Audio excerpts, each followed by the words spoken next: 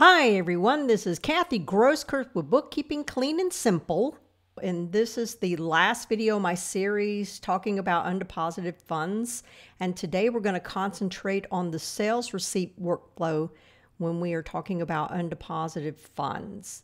Now, before we actually dive in, I ask that if you haven't already, please like and subscribe to my channel, share it with others, and at the very minimum, please click on the notification bell so that way you'll get notified of all the new videos and content that I put out.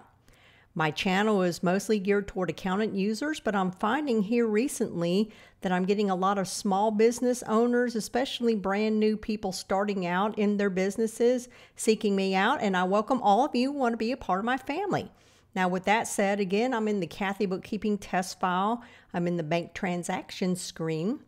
And what I did before I actually started the video is that I created a couple of sales receipts because we're going to go into at least one of them so you can see how it is basically set up. And then I want to show you how the undeposited funds process works when you're trying to add or match them in QuickBooks Online. So let's go over here to the magnifying glass icon and that way I can show you the sales receipt that I entered. I'm going to actually show you the one that I entered most recently for bowls and teriyaki.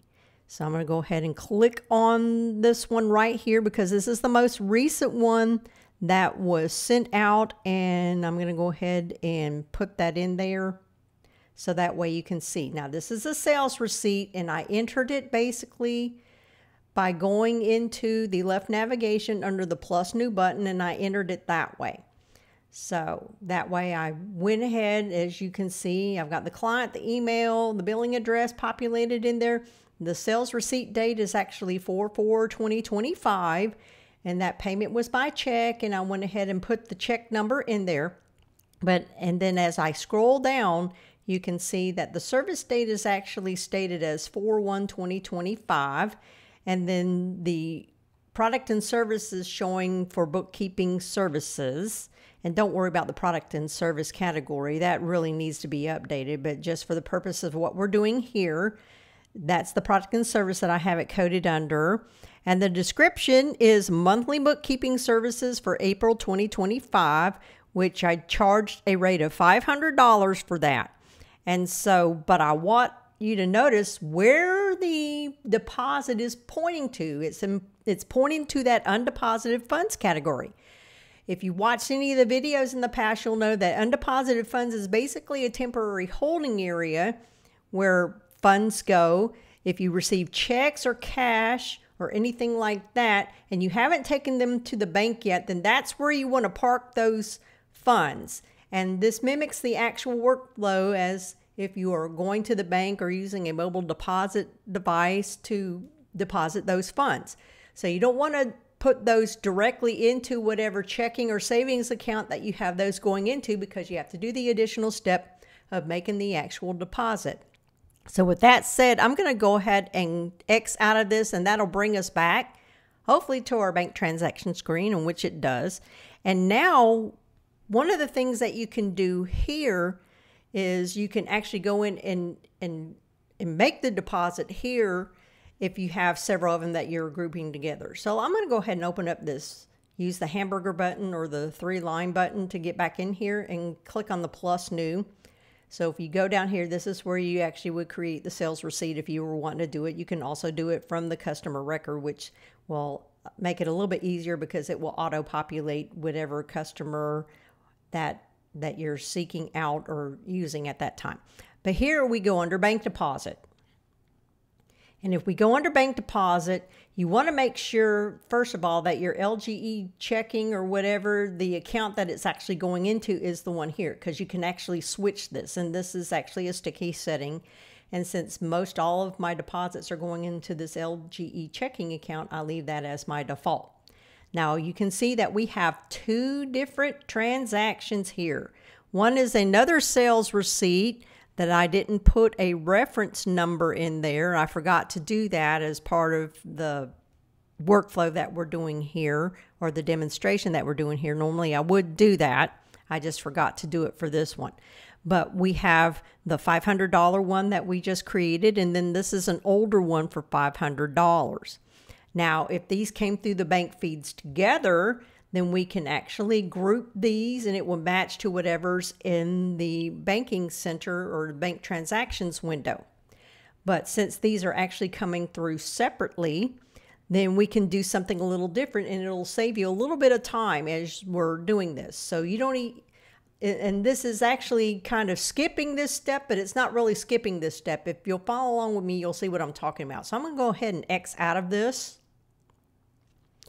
Okay, so going through the banking center, I'm going to close out this left navigation since we don't need it anymore. I'm going to go down here to this transaction from 4-4-2025, and it's saying that there's two matches found. And so I'm going to open up that transaction here and scroll down just a little bit. And you can see that it's pointing to both of those sales receipts. So something that you want to know is that when QuickBooks suggests a match in the banking center, it can go back, I believe, up to 90 days to try to find the match.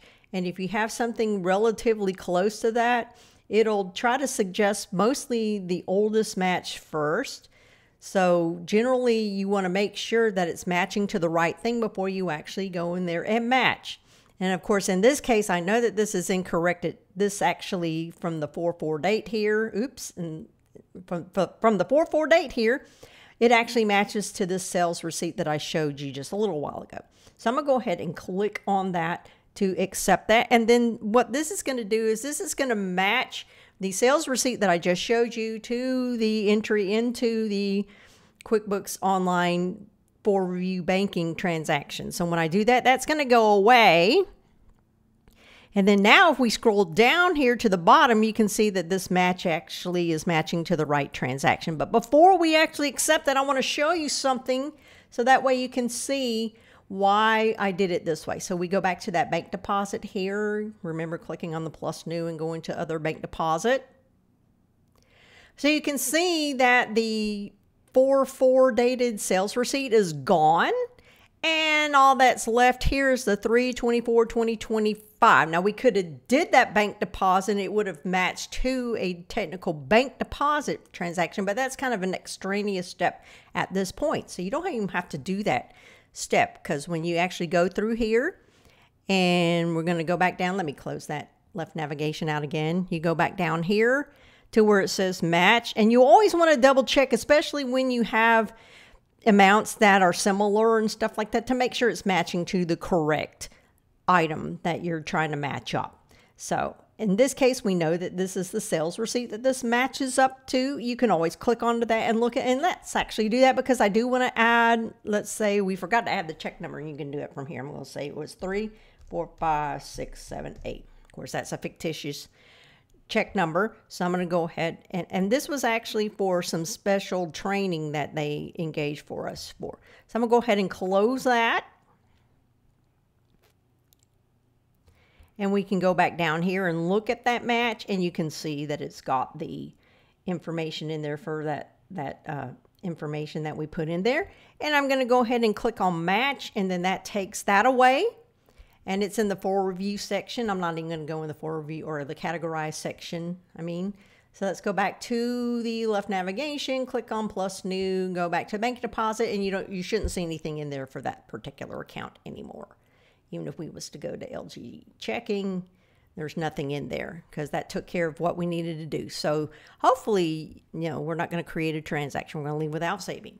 So hopefully this will help you today. And this ends my series on the categorized funds. And I'm going to actually do the uh, links to all the videos in the description. So hopefully if you missed any of them, you'll be able to watch them. So anyway, I hope this helps you all. Take care. Have a wonderful day and we will see you very soon.